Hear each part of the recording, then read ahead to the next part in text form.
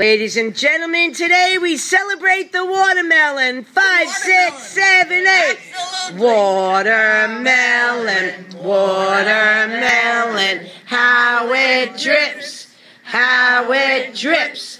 Up and down my elbows, up and down my elbows. Spit out the pits, put, spit out the pits. Happy Watermelon Day!